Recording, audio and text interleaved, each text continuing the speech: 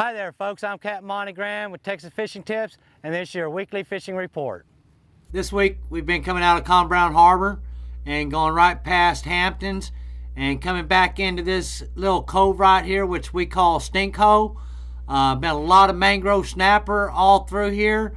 Uh, we've also been catching black drum.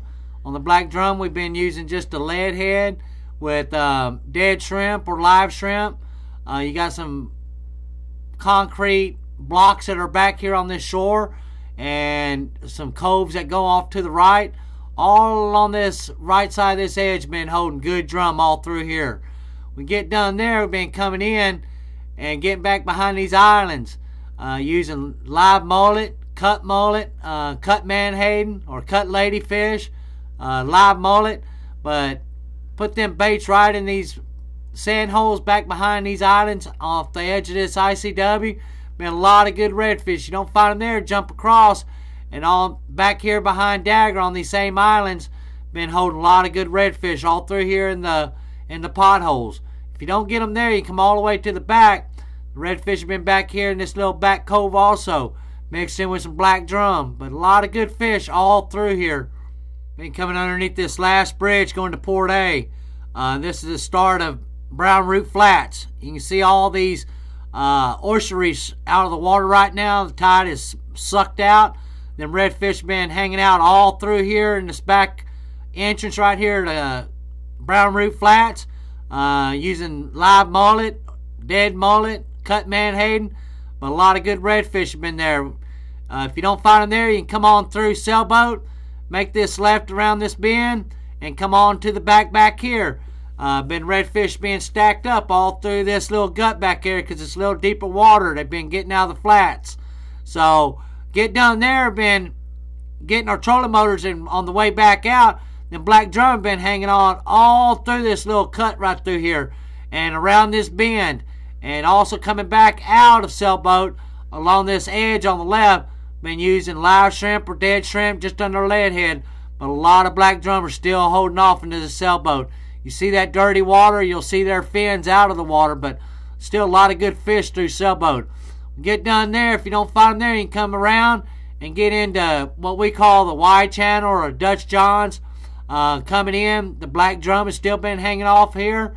Um, working it with just a lead head on some live shrimp or dead shrimp.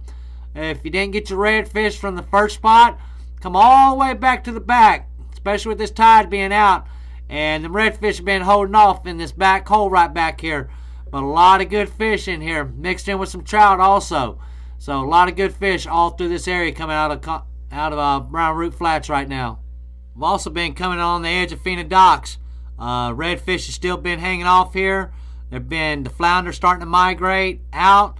So all along this Fina Dock's been holding good fish. Uh, you can also come on the other side and work this edge right here in Lillian and been flounder through here. We've been catching redfish. We've been catching trout. Uh, come on over here to Lighthouse Lakes. You can go in. I've been fish all through Lighthouse right now. We've been coming back out and hitting Big Slough. Um, same deal with that water being sucked out like it is. Them fish are falling all through these little guts right now. The drum have also still been hanging out right here in Big Slough. Uh, there have been some good butterfly drum, but there's also still been some, you know, 20 to 30, 40 pound drum through here. Uh, get done there and just keep working this shoreline all the way to quarantine. Been a lot of good redfish caught all the way up on this shore. Um, try to keep it out of the grass, keep it right in them potholes. But same deal, live mullet, live shrimp, cut mullet, cut menhaden has been doing the trick for us. This is the time of the season we've all been waiting for. Uh, like I said, that water's been dropping. Been coming into Big Slough. I mean, uh, Big Bayou. Uh, all through California Hole right here. Them fish have been falling off into California Hole. Uh, same deal. Cut menhaden, cut mullet, live mullet. Been doing the trick. Uh, a lot of good redfish all through here mixed in with some trout. Uh, get done there. Come over here to Buns, Buns Hole. Buns Hole is another good spot to ambush these fish. Um, when these flats get dry, just be careful. A lot of oyster reefs out there. But you should be able to run over here to Buns Hole. A lot of good redfish all through here. If the water does come back up, then redfish are going to just fall off right here by these islands. So these islands next to the ICW is generally holding redfish. So if you don't get them in one spot, just keep working around with your baits and get them in them potholes. You're going to find the fish. Thanks for watching. I'm Captain Monte Graham. Bingo.